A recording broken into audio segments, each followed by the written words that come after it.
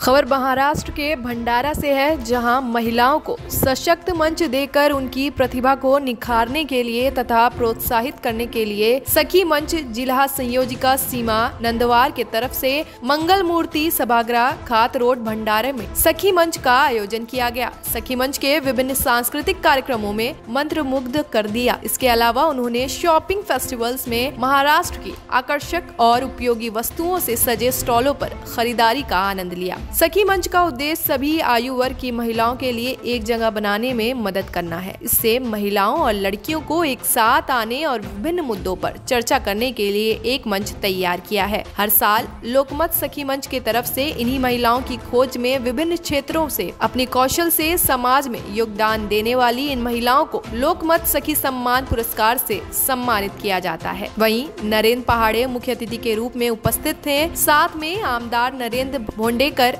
Jockey Rawlani सखी मंच की महिलाएं बड़ी संख्या में मौजूद रहीं। स- लोकमत सखी मंचमध्ये जवळजवळ विचार केला तर आम्ही दर महिन्यालाच वेगवेगळे इव्हेंट्स ऑर्गनाईज करत असतो.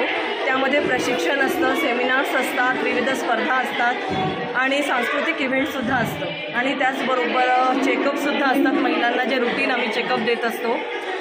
जे स्त्री संबंधित सेमिनारसुद्धा आम्ही ऑर्गनाईज करत असतो. आणि त्याचबरोबर सायबर क्राईम असे विविध आम्ही उपक्रम दर महिन्याला राबवत भंडारा से हंसराज राम टेके की report TV one, India news.